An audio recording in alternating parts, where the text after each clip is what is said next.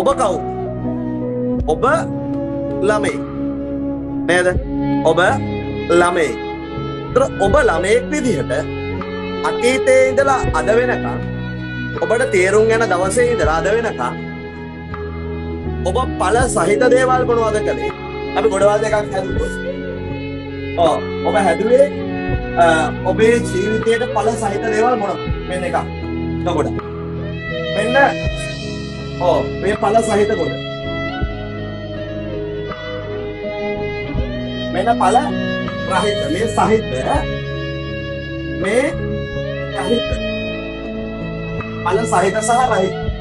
එතන මේ ගොඩවල් දෙකේ ඔබ ඔබේ ජීවිතේ වැඩියෙන්ම බර කරගෙන තියෙන්නේ පළ සහිත කොටද මේක පුරවාගෙන තියෙන පළ සහිත දේවල් වලින්ද පළ රහිත දේවල් වලින්.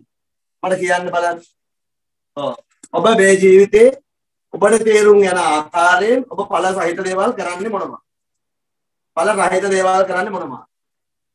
ඒතර මම හිතනවා පළ සහිත දේවල් කරනවා. ඔව්. ඒතර ඔබ හිතන්නේ ඔබට මොනවාද පළ සහිත දේවල්? මම ඒකට මතක් කරලා දෙන්නම් මේක වෙලාවට පළ සහිත දේවල්.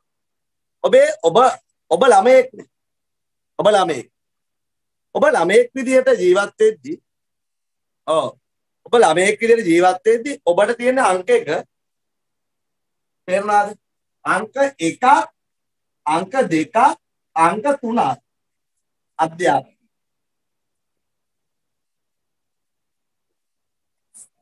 අංක 1 2 3ත් අධ්‍යාපනය.